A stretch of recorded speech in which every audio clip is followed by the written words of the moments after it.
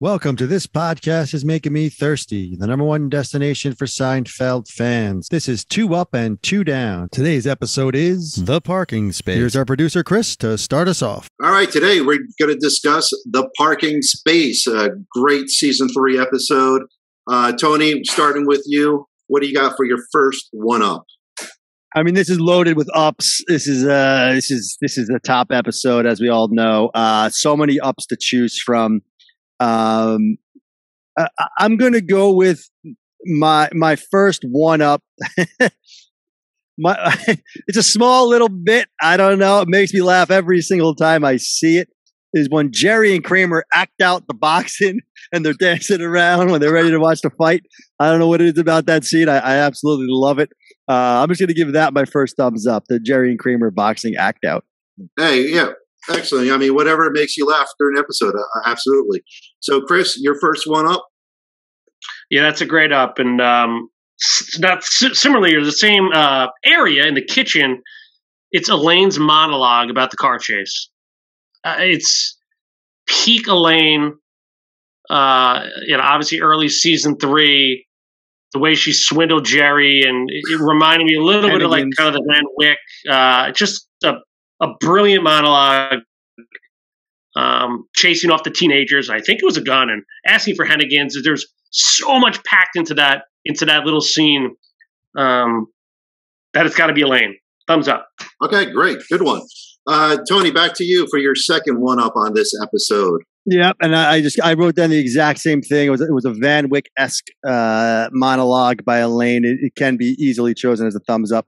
I'm gonna go with my other thumbs up though um, just because it, it's just every time. It, it, there's so many to choose from here. I hate to leave any of these out, but you just you can't you can't leave out. Man, that Michael Jordan sure, sure is phony. You can't leave that out. That's the line of of the series from one of the lines of the series for me, not the line, but definitely one of them for sure. Man, that Michael Jordan sure is phony by Moffit. Uh, that's my second thumbs up. Actually, yeah, we love uh, Lee Arenberg. Uh, he was on our podcast. So great one there. Uh, Chris, your second pick for an up.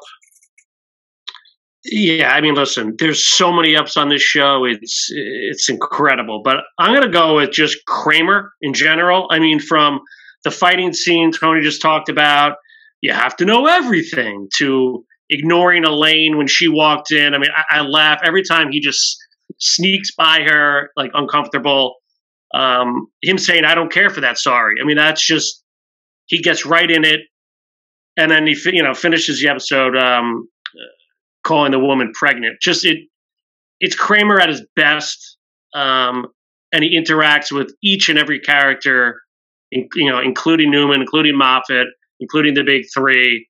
I mean, Kramer knocks it out of the park in this episode. Absolutely, he's the uh, straw that's thirsty drink in this one.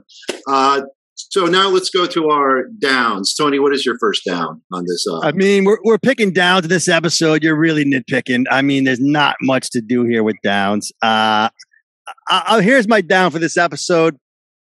Jerry with the little kid on the street, you know, oh, dad's closing the store. No, no, I didn't mean that. Jerry kind of lets it slip, and the, the kid gets a little mad. Some I, I don't I don't love it. Um, you know, I, I don't hate it either. Right? It's an amazing episode, but if I'm going to nitpick I'm going to take the uh, the the Jerry and the kid interaction, if you will. That's that's my thumbs down on this one. Okay, all right. Uh, on to you, Chris. Your first uh, down for this one. I do laugh at that scene though every time. I, I don't know why, but um, but again, you got to be nitpicky in ep- these great episodes. And I'm gonna nitpick too. I mean, it's something stupid, but uh, Jerry having a boxing party and he has Coca Cola and chips. Come on, they're adults. yeah, where's the beer? Have some have some beer and wings, man. That's my one down. Okay, I agree with that. Um, Tony, over to you. Your second uh, down for this episode. I know that it's tough to come by, but what do you got? Yeah, my my one my other down on this is another Jerry, and it's it's really just a joke, a one liner, something about his one liners that don't always sit well with me. The uh the the old uh head first. That's what you do when you're pulling a bank job. I just never understood the joke. It doesn't even really make sense to me. Like how you park certain the bank job. Wouldn't you want to come uh, come out of a bank, uh, you know, back in and then come? I don't know. Pulling in head first a bank job just just a throwaway line, but I'm nitpicking here on, on a great episode. So that, that's my thumbs down. The old bank job joke. All right, no, we like your analysis on that. Excellent. Uh, Chris, what's your final down for the the uh, parking space? Yeah, nitpicking. You, I don't even know if I like this of what I'm going to say, but it's the. And again, it's just being a historian of the show here. The George and Elaine dynamic. You know, I, I like Elaine with Kramer, and maybe it's just I like Elaine better with Jerry and Kramer versus George. Uh, I, I, I, know this would chime in, but I, chime. I mean, I, I again, I'm the really you're talking about in the car with the parking and everything. And I'm really, I'm really nitpicking. Yeah, nitpicking I'm, I'm, I'm thinking right afterwards, but uh, again, I'm nitpicking here because I'm thinking about, you know, dynamics between Elaine and other characters. Um, I like, I like her better with Jerry and Kramer in that capacity. I'm not knocking this. This is my one slight down. Okay, uh, no issues there. Uh, it seems like you guys struggled with downs for this episode, so I'm going to anticipate some high grades here. Tony, let's go over to you first. What's your final grade for this episode? Yeah, this is an A. I mean, if you're talking about an episode, you got to give this an A. Uh, it's it's it can't be too much lower than that. I don't think it's quite an A plus. Um, I wouldn't argue an A minus. I think anything below that, you, are gonna might have an issue with me. I mean, this is an A. I'm gonna give this parking spot um, a solid A, solid 95, somewhere's around there. All right, great. Uh, Chris, your final grade? Hands down an A. I mean, I'm nitpicking about George and Elaine, and I, I, I love their their scene together, but I had a nitpick. But I mean, eh, you know, from the little kid to even Newman Newman joining to uh, uh, got him drawn up blank on the put the, the uh, who's the parking guy? Drawn up blank. Dude, I had him as one of my positives. I didn't use it. Never mind who I am. I knew who I am. You know who you right, are. It's I mean, an amazing line. I should have used it as my thumbs right, up. Right. I, did, I didn't.